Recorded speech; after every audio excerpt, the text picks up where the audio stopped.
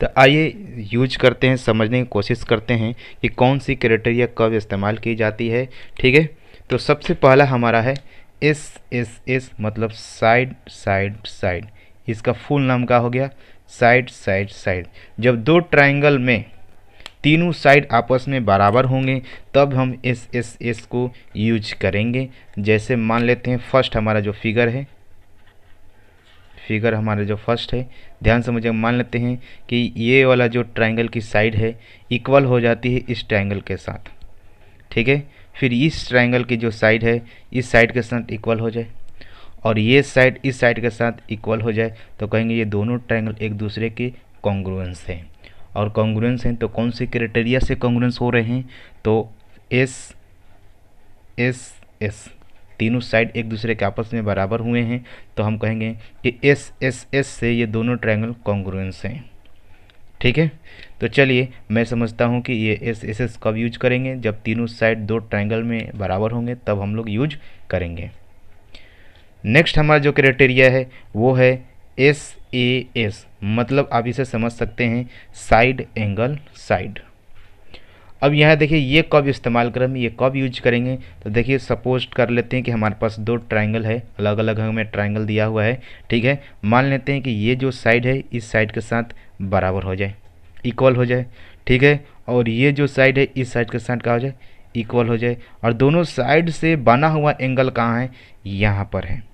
तो उसी प्रकार इसमें भी दोनों साइड से बना हुआ एंगल कहाँ है? यहाँ पर है। अगर ये एंगल भी एक दूसरे के साथ इक्वल हो जाएगा तो हम लोग यूज़ करेंगे कौन सा? साइड एंगल साइड ठीक है? याद रखना यह है कि दोनों साइड के बीच में, यानी दोनों साइड से इंक्लूडेड एंगल होनी चाहिए। दोनों साइड से इंक्लूडेड एंगल होनी चाहिए। मान लीजिए, अब देखिए फेल कब हो सकती है। जैसे मान लीजिए हमने ये दोनों साइड ले लिया और दोनों साइड के इंक्लूडेड एंगल लिया है, या ना लेकर कोई दूसरा एंगल लेंगे तो ये एस ए एस यूज़ नहीं होगा और गलत हो जाएगा। ठीक है? तो दोनों साइड के जो बीच का एंगल होगा, वही एंगल दोनों ट्रायंगल में इक्वल होना चाहिए, तब जाकर हम लोग यूज़ करेंगे एस ए एस चलिए नेक्स्ट हमारा जो क्राइटेरिया है, वो है ए एस ए आप ए एस ए से क्या समझ रहे हैं? ए एस ए से आप क्या समझते होंगे? कि एंगल साइड एंगल अब ये क्राइटेरिया कब यूज़ करेंगे? ध्यान से समझते हैं। सपोज़ डेट मान लेते हैं कि मेरे पास एक ट्राइंगल है, दो ट्राइंगल है। देखिए थोड़ा सा डिस्टेंस हो गया है। खैर, कोई बात नहीं, हमारे पास दो ट्राइंगल मान लेते हैं, ये वाला जो साइड है, इस साइड के साथ इक्वल हो जाए। ठीक है? और ये, मान लेते हैं, ये वाला जो साइड है, इसके साइड इक्वल हो जाए। ठीक है? ध्यान से समझना यह है कि इसमें क्या है? ए एस ए है नहीं नहीं ए एस ए है, ये कब यूज़ होगा? तो ध्यान समझना है। मान लेते हैं एंगल है ना एंगल एंगल सपोज़ डेट मान लेते हैं कि ये एंगल इसके साथ इक्वल हो जाए। फिर ये साइड इसके साथ इक्वल हो जाए और फिर ये एंगल इसके साथ इक्वल हो जाए, तब हम लोग यूज़ करेंगे। देखिए एंगल साइड एंगल मिला एंगल साइड एंगल मिला तो ये एंगल साइड एंगल से क्या हो जाएगा? कॉन्ग्रेंस हो जाएगा। अब ध्यान समझना ये है कि कोई कोई के कोई किसी किसी मतलब बुक में या किसी किसी क्वेश्चन में अलग अलग तरीका के मिलता है। जैसे मान लेते हैं कि यह साइड इसके साथ इक्वल हो गया है। ठीक है, कोई, खैर, कोई बात नहीं। ये एंगल इसके साथ इक्वल हो गई और ये एंगल इसके साथ इक्वल हो गई है। तब भी आप देखिए, दो एंगल और दोनों एंगल से इंक्लूडेड साइड होना चाहिए। इसमें ध्यान से यह समझना है बच्चों कि एंगल साइड एंगल है तो दोनों एंगल मिलना चाहिए और दोनों एंगल से इंक्लूडेड साइड यानी बीच में साइड होनी चाहिए। ठीक है तो हम ले लेते हैं। जैसे मान लेते हैं, यही लेते हैं एंगल साइड एंगल या इस तरीका से भी मिलता है एंगल साइड एंगल तो ये दोनों ट्रायंगल कॉन्ग्रेंस हो सकती है। देखिए दोनों एंगल के बीच में साइड होनी चाहिए। दोनों एंगल के बीच में साइड अगर से ये क्राइटेरिया या ये रूल अगर इसमें मिलती है तो हम लोग कहेंगे एंगल साइड एंगल ठीक है? अगर ऐसे मिल रही है एंगल साइड एंगल कर सकते हैं, ठीक है? तो ये कब यूज़ होगा? जब दोनों एंगल के बीच में साइड होगी, तब हम लोग ये यूज़ करेंगे। और जो नेक्स्ट हमारा है एंगल एंगल साइड है मतलब दो एंगल मिलेंगे, तब जाकर साइड मिलेगा। तो नेक्स्ट हमारा क्राइटेरिया है बच्चों कि मान लेते हैं ये वाला एंगल इसके साथ इक्वल हो जाए। बहुत अच्छी बात है। ये वाला एंगल इसके साथ इक्वल हो जाए। और देखिए, इन दोनों एंगल के बीच के जो साइड है, ये इक्वल नहीं होनी चाहिए। इसे छोड़कर दो कोई साइड मिल सकता है। जैसे मान लेते हैं ये वाला इसके साथ इक्वल हो जाए। ठीक है? तब हम कह सकते हैं कि एंगल एंगल साइड से ये दोनों ट्रैंगल कॉन्ग्रेंस हुई हैं। इसमें फ़र्क यही है कि इन दोनों एंगल के बीच में साइड होना चाहिए और इसमें है कि दोनों पहले एंगल मिलना चाहिए, दोनों एंगल के बीच में जो साइड है उसको छोड़कर कोई दूसरा साइड मिलना चाहिए। जैसे फिर से एक बार और अच्छी तरीक़ा से समझ लेते हैं कि मान लेते हैं हमारे पास बच्चों, ये एंगल है, फिर ये एंगल मिला।